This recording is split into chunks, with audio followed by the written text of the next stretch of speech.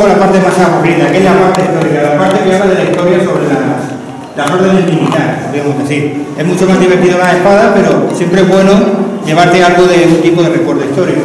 Lo primero que tenemos que tener en cuenta eh, de las órdenes militares es lo siguiente.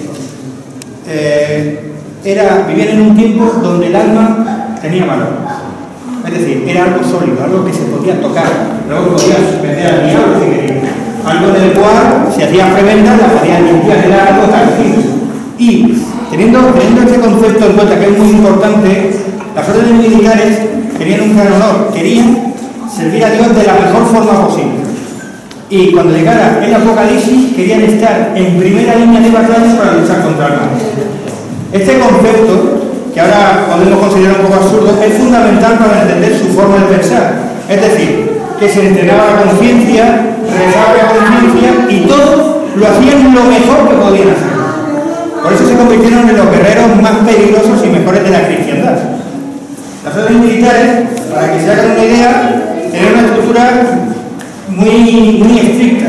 Entonces, que se tiraban 8 horas rezando, 8 horas trabajando y 8 horas durmiendo.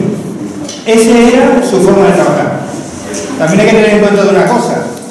Todas las órdenes militares, el caballero, la mayoría tenía silbato, pero los únicos que se podían casar eran la orden de Santiago. Eran los únicos que en vez de estar 8 horas trabajando, estaban 8 horas, 4 horas trabajando y 4 horas discutiendo con la mujer. No se podía evitar. Así se casaron. La orden de Santiago es la, orden- la única orden militar que se podía casar. Claro, nos podemos pensar, ¿eran todos caballeros? No. El caballero solo era uno. Lo que pasa es que por cada caballero había, se llaman 15 sargentos detrás de él. Es decir, cuando en los relatos decimos, no, es que fueron 30 caballeros que lucharon en la guerra de la no, eran 30 más sus 15 individuos, entonces ya son 300 personas, ya es otra cosa. Ya las cuentas, entonces ya tenés. ¿vale? Entonces, lo primero que tenemos que entender también sobre las órdenes militares es que, como he dicho antes, los mejores guerreros de la cristiandad y además se lo curraban, porque ellos sabían que a Dios no lo podían engañar. Así que se entrenaban y se lo curraban a conciencia. Entonces, la primera orden militar que hubo realmente fue la orden hospital de San Juan, no fue una orden militar, fue una orden de precisamente. Automáticamente, cuando vinieron peregrinos a Jerusalén, 12 caballeros deciden crear una orden militar que son los templarios. Y esta es, digamos, la primera orden militar militar sería los templarios. Esta idea fue creciendo con el tiempo y fue trasladada a España. Y en España, que tuvimos un montón de órdenes militares, hay dos que destacan especialmente. Primer lugar, la orden de Santiago y luego la orden de Calatrava. Pero si yo digo en primer lugar la orden de Santiago, y yo como pueden ver, voy como con la orden original, la cruz original de Santiago, era una espada simplemente, por eso lo llamaban los espatari, de hecho la espada significa palabra de Dios dentro de la nomenclatura religiosa, pero la, primera orden militar realmente fue la orden de Calatrava, como veis esa cruz de la cruz negra que veis allí. Ellos fueron los primeros, la primera orden militar de España. El problema que la de Santiago es más famosa porque en el año 1600 el rey de España decidió nombrar a Santiago patrón de España que automáticamente todo lo que había hecho la orden militar de Santiago era lo que más molaba. Pero realmente eh, lo que es en la época de las órdenes militares que se extinguen cuando llegan los reyes católicos, Santiago y Calatrava iban a la. De hecho, en 1286 firman un tratado, un tratado de que cada vez que se juntaran para una batalla serían, serían un solo pueblo. Por eso las cánticas, por ejemplo, se, les ve juntos. Es decir, se complementaban entre ellos. Que era, digamos, que esa era su gran fuerza. Sin embargo, y como iba diciendo, todo esto está muy bien, pero hay que tener en cuenta una cuestión importante. Las órdenes militares tenían mucho dinero. ¿Por qué? Porque crean una cosa que se llama encomiendas. Que es algo así como decir un plan de jubilación. Creas un pueblo en el cual sirve a la orden de Santiago. Y en ese pueblo, los sargentos tenían, digamos, a su familia, a su abuela y demás. Y cuando un caballero conseguía, llegaba a cierta edad, se le daba una encomienda. Así que mientras el caballero iba a la guerra, toda su familia estaba a salvo de la encomienda. O sea, era un gran plan de jubilación. Claro, eso hacía que siempre, los militares siempre tuvieran. A pesar de que sufrieron grandes derrotas en muchas batallas, pues claro, una cosa es la fe, pero mucha fe que tengas, si te dan con una flecha antes de que da igual. Siempre se nutría de gente y siempre los ponían en la frontera. eran los que guardaban la frontera, por dos motivos. Primero, como hemos dicho antes, eran soldados débiles, sabían que detrás de ellos estaban los cristianos, no necesitaban atacar. Técnicamente, los órdenes militares no podían matar a los cristianos, luego ya la realidad es otra Porque siempre hubo que el orden de Santiago tuvo una bronca tremenda con el rey de Aragón, en una circunstancia por una vida. Y además de eso, eran los que se encargaban de hacer uno de los negocios más lucrativos de la Edad Media, el secuestro. Tanto los cristianos como los moros hacían incursiones en territorio enemigo, secuestraban gente y se la llevaban. Y luego la devolvían por un precio. Si eran nobles, eran más Y las órdenes militares eran los encargados de hacer de intermediarios en este, digamos, en estas transacciones. Pero el único problema es que cuando los moros atacaban, hacían la gracia y secuestraban a gente, si tenían los ojos claros no se lo, devolvían ya que el sultán le daba más dinero. Cuando se tenían los ojos claros era, al moro le costaba muchísimo. Esto era, claro, era una gran ventaja para las órdenes militares porque siempre, cada vez que había una racia musulmana, crecían en número y en poder. Sin embargo, y tengo que reconocer una cosa, el gran centro de las órdenes militares realmente fue en la famosa batalla de la Navas de Tolosa, donde prácticamente sufrieron todo el ataque musulmán y todos sus maestros en la palma. El maestro de Calatrava pierde una mano y tiene que nombrar a otro, el maestro de Santiago muere a los cinco meses de la batalla, de las heridas sufridas, el maestro del Tefe muere también, el comendador mayor de la Orden del Hospital también muere de la gran de la Nava de Tolosa, pero ahí consiguen su fama de irreductible por la fe. Pero toda esta batalla, o todo este poder de la orden militar no tendría ningún sentido sin un personaje muy concreto, de una época muy concreta, que fue realmente el que fue capaz de ser político, el que realmente convirtió a la orden militar española en una de las más poderosas de su tiempo. Y para eso le puede pasar con mi compañero y él mismo se va a presentar. Como bien ha dicho nuestro comentador, todos los ejércitos, todas las órdenes militares luchaban bajo la presión, digamos, de la Iglesia, amenazarlos por el temor de Dios. Para un guerrero o alguien de medias, decir que arderás en el fuego eterno si no haces esto, ahí era su mayor, su mayor losa. O sea, luchaban a pie, a destajo. ¿Por qué? Porque el infierno para la iglesia era su poder. El poder de decir a los, a los siervos, tienes que hacerme esto. Porque yo no quiero, porque el rey quiere. Pero siempre podía seguir por delante, pero la iglesia estábamos detrás, maquinando. Me presento. Hoy Rodrigo Jiménez de Barrio, arzobispo de Toledo, estadista, historiador, médico, caudillo de las Gamas de Tolosa, canciller de Castilla y primado de España. Escribí, gracias a Dios, y por orden de Carlos III, Fernando III, de Rebus Hispaniae, la crónica de España, el primer libro de historia de aquella época. Sin mí no se hubiese hecho constancia de los hechos ocurridos en estas tierras. Incluso Alcalá de la Junta fue un territorio dominado bajo mi mandato en Toledo y yo mismo concedí un fuero años más tarde de haber conquistado Alcalá y hace la Nueva Velosa del 1212. Pero bien, yo soy una persona que me gusta batallar, me gusta estudiar la batalla antes de enviar a mis ejércitos. ¿Por qué? Él bien ha dicho que se debe a su rey. El Papa, en este caso, da la venia para participar en ese tipo de guerras, de cruzadas, pero siempre ese tipo de cruzadas, batallas, siempre están dominadas por un poder, el poder de la iglesia. Claro, las ganancias van para crear la Catedral de Toledo, que la fundé, la Catedral de la Universidad de Valencia, que la creé, Y después también estuve en Salamanca, fui descomulgado varias veces, una de ellas Jaime I en Valencia, porque yo mismo me ostenté la primacía de Toledo, porque quería que Valencia fuese la capital del reino, pero al final fue Toledo.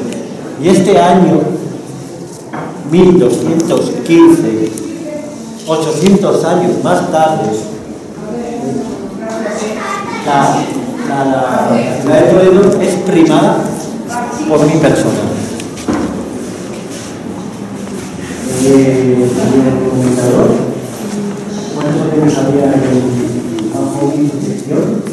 Actualmente en España las órdenes militares eran varias. El problema es que la mayoría de órdenes militares eran absorbidas por otras. Para que se pongan un ejemplo, eh, Alfonso X crea la Orden de la Estrella, que es una orden militar especializada en navegar, que es absorbida por la Orden de Santiago. Entonces, aunque hay muchas órdenes militares en España, cuatro son realmente las que parten el, el bacalao en España. Santiago, Calatrava, el Temple y el Hospital de San Juan. Y todos ellos, en cierto modo, gracias al arzobispo, que fue capaz de liar a todo el mundo, lucharon bajo una misma bandera, lo cual era bastante... Bueno, igual voy a decir. Había cinco El arzobispo intentó crear que fuera reino de Castilla. Por eso mi sello tiene Castilla. Cuando me nombran arzobispo ya tengo mi propio sello lacrado. ¿Les está gustando? Sí. ¿Alguna pregunta que quieran hacernos? ¿Curiosidades? Las órdenes militares dejan de tener sentido cuando realmente eh, cambia la forma de hacer la Es decir, todas las órdenes militares en España, por poner un ejemplo, la orden del temple desaparece por una razón muy sencilla. Se dedicaba a quienes tanto poder que le prestaban dinero a todo el mundo. En aquella época había tres grandes banqueros, judíos, los templarios y el papado. Y como el temple le pedía dinero a varios reyes, al final decide cargarse. Casi podemos decir que fue una hoja Así como desaparecen los templarios. ¿Cómo desaparece el hospital de San Juan? El hospital de San Juan se reestructura, porque los tiempos cambian. Y la orden de Santiago de Calatrava no es que desaparece, sino que cambia la filosofía. Hay que tener en cuenta una cosa, la orden de Santiago en sus orígenes, cualquiera podía eh, formar parte de la orden. De hecho, había predicadores que iban por los pueblos y los monasterios diciendo, si haces una cruzada con esta orden de Santiago, equivale a hacer peregrinaje a Jerusalén. Es decir, por seis meses de servicio te doy dos años de peregrinación. Eso mismo hice yo. Yo visité Francia, Alemania, Italia, para las cruzadas a caballo, viajé varias lenguas y parando parroquia por parroquia hacía los sermones en las iglesias, concediendo el perdón y dando bien a todos los guerreros y gentes que vinieran a repoblar España para así eh, tener más poder, eh, todo convertía en armamento, todo lo que es el sustento, se convertía en armamento para la gente que batallara a cambio lo que decíamos antes, el perdón de los pecados o bien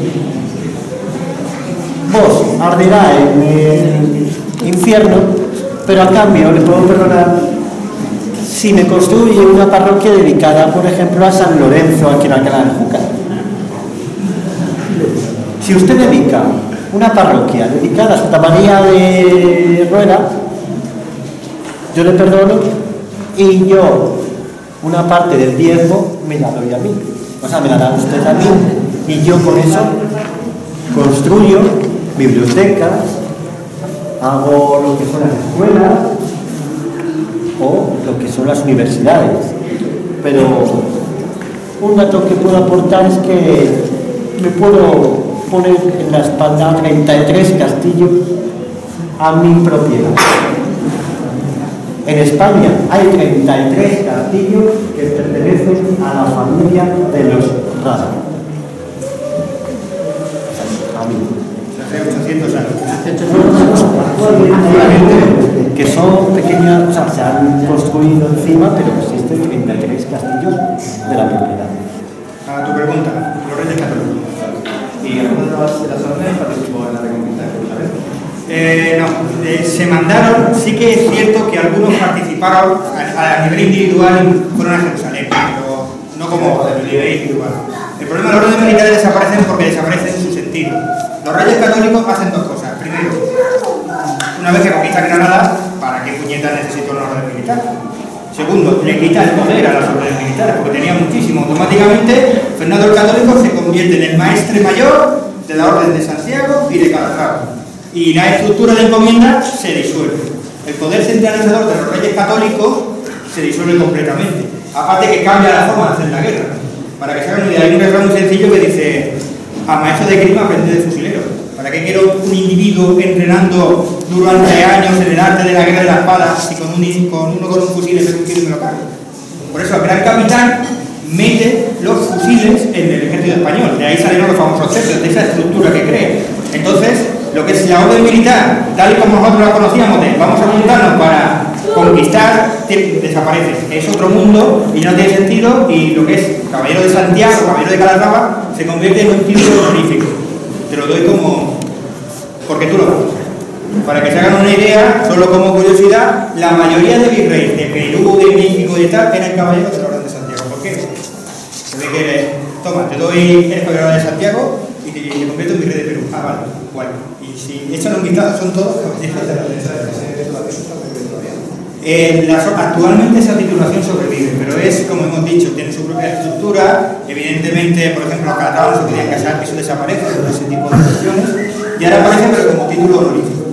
O sea, aquella famosa orden de Santiago que luchó contra el invasor sarraceno ya carece de sentido, completamente. Sencillamente, el mundo cambió y ellos ya no tenían lugar como la estructura que, te, que tuvieron siempre. Claro, una vez que se tomó Granada, a Jerusalén está ¿Qué me estás contando? Si te queréis para Las encomiendas eran eh, ciudades. Esas pequeñas, esas pequeñas poblaciones no dependían del rey, dependían de la orden. Es decir, eh. Claro, todas las familias. Imaginémonos que Alcalá de Azúcar eh, ya no le pagan no le paga impuestos al rey, le paga impuestos a la orden. Y la orden, si tiene un trato con el rey, le da dinero, si no lo tiene, nada. Porque hay que tener en cuenta una cosa que es importante, la orden militar el jefe supremo de la orden militar no es el rey, es el papa. Entonces, aunque parezca una tontería, cuando se, se encontraban al rey, ellos no hacían la sucesión, porque ellos están por encima, solo ante el papa se inclinarían. Y eso precisamente es el truco que ellos tenían tratados con el rey para portarse bien en la encomienda. Realmente a los reyes o las coronas les convenía que las órdenes militares estuvieran en su territorio por dos motivos. La primera, porque tiene su punto fuerte que nadie va a conquistar. Y la segunda, porque solían montar hospitales. La orden de Santiago y la orden del hospital son famosos porque montaban hospitales. Entonces, pues te conviene tener un hospital en tu territorio. ¿Una otra pregunta? No, curiosidades, por ejemplo, de la media que se atribuyen obispo, a la persona, conocerán el dicho de a Dios robando. ¿Por qué? ¿Lo pueden explicar algunos o lo explicaré a Porque aparte de rezar, de orar, como dicho ellas, horas un guerrero velaba sus armas, los obispos también comprobaban en las mismas batallas y se unían bajo la, la guardia. Yo mismo, la verdad, estuve con el rey batallando hasta el mismísimo, o sea, hasta la mismísima última hora que ganamos. ¿Vale? Los obispos, arzobispos, monjes, llevaban mazas a cambio de los órdenes militares que llevaban espadas, llevan eh, armas, armamento. Los obispos y gentes religiosos utilizaban mazas. ¿Por qué? Porque no podían derramar sangre, porque ya se derramó sangre con el martirio de Cristo. Pero sí podían provocarla. Con un mazo bien dado en un cráneo, en un el cuerpo se revienta por dentro. O sea, pueden dañar, pero no matar. Sí, ese es el pequeño truco, me salto la ley. Como no puedo derramar sangre, yo como orden militar tengo una bula que me permite derramar sangre. Pero él, como obispo, no puede derramar sangre, entonces en vez de llevar una espada que siempre te va a cortar, lleva una maza. Y entonces los obispos iban a la guerra con una maza. Que cortaste igual, pero que no echa sangre. Básicamente, echa la, trampa, nunca me. Puedes dañar, puedes dañar y el otro rematar. No, diciendo, remátale. De ahí cuando muchas veces Inquisición, no sabes, ya posteriormente la Inquisición, los inquisidores sí eran los diablos, los diablos benévolos de diablos benévolos de los reos, o hijo mío, confiesa que tu alma te salvará. Y decía aquí a los verdugos, atacaré o hiérele. Porque ellos no podían, o sea, ellos querían salvar su alma, sí, pero ellos no podían salvar la alma. Salvaban el más allá de ellos. O sea, tú sí, ya te perdonará Dios en, la- en las alturas, porque aquí lo has hecho y bien conmigo. Hay una, hay una hay una fase aterradora, fue precisamente en la revuelta luquense, que cuando llegó el obispo de... ¿Dónde era? De la cabeza. Yo. Y dice, obispo, ¿cómo sabemos quiénes son herejes y quiénes no? Y la frase es, tú mátalos a todos que Dios se va a reconocer a los suyos. O sea, y por eso inquisidores siempre se les pone muy macabros y muy, muy sentenciadores, pero realmente eran los que, hijo mío, tu alma se salvará, confiesa, pero ahora vas a la hoguera. Sí, vamos. Tú firma tu sentencia de, sea, de, sal- de salvar tu alma. Claro, cuando te decían salva tu alma, cualquier persona en la Edad Media, o hace, hace poco, me tengo que salvar sí o sí. Pero claro, te salvará Dios, que es el que juzga. Yo no te voy a juzgar. Se quitaban el, el marrón de que, era, creo que era que dijo la, la famosa la revuelta. siempre nos hemos quitado el derecho de. Siempre delegamos en los reyes cuando realmente tomamos las decisiones nosotros. No tienen ninguna pregunta más, les liberamos. Espero que les haya gustado. Muchas gracias por escuchar.